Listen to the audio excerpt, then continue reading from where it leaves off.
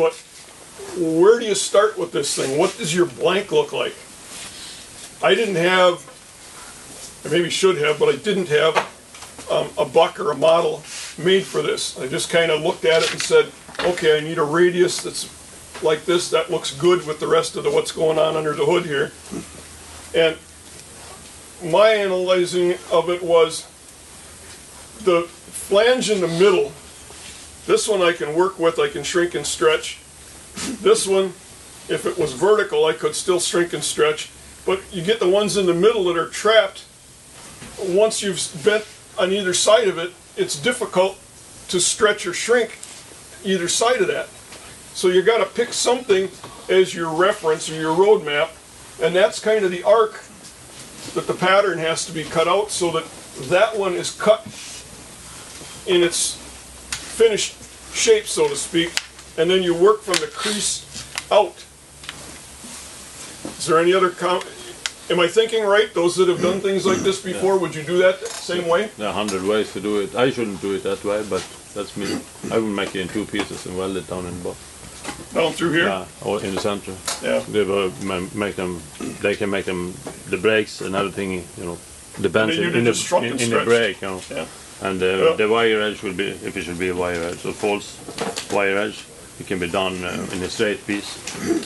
It's, that's my way. I do it all the time. Yeah. way, so. I, I I contemplated doing that, but then I didn't like the idea of doing the weld in an area that wasn't real easy to work. But uh, if nothing else, it was a good experience for me to learn how to do some of these things.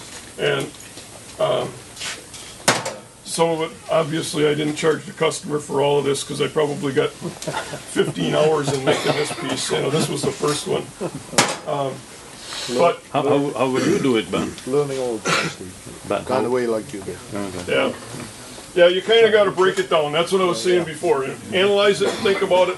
You know, if you've got one flange that's that's a little bit wider, that, that make it a little easier for your Try the planishing, yeah, pick that one. Don't pick the narrowest one because it's going to be and, and hard ne- to do. ne- never weld in a corner if you don't no, yeah, never weld on a crease. Okay, Try, try to find the, the form that really has to fit and go from there. right. Because then that is laid down and that's not going to change. So Yep. that's easier than it. Uh, Let me say something really quick about doing stuff like this that I found where I've made huge mistakes, and that is I've never done it before. I'm going to do it. It's for a job. I'm trying to make money, and so I'll sit there and I'll go, well, okay, let me do this like you do, and say, okay, I think I can do this, and I think I can stretch this.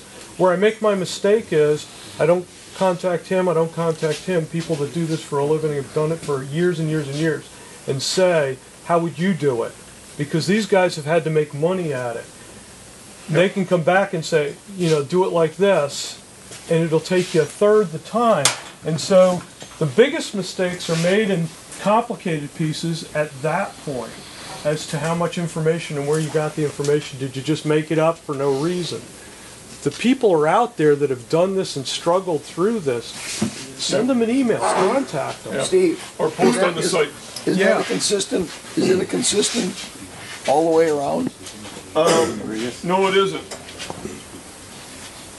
No, I mean, the angles, the angles are consistent though, aren't they? No, Oh, it's not? because Okay. as I said before, that when this is in a finished position, this this surface here is going uphill back to the firewall, and this one is leaning forward.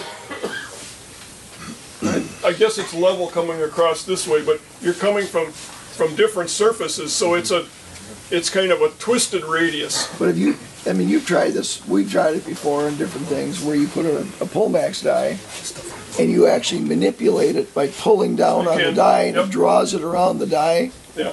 I mean, that works quite well in, in a lot of cases. And you can also favor the die to where if you need stretching in that middle of that, in the middle of those corners, you favor your die to where it hits, it's got an actual hit, Right. metal on metal hits where it's stretching as it's, it's coming around. thinning on one side, not on the other. Exactly. Yeah. So again, it's look at what you got to do. Think about what you've got available and how you maybe you got to make a special tool just for that operation. And if you can make a simple tool that doesn't take you too long, it'll probably save you a lot in the long run.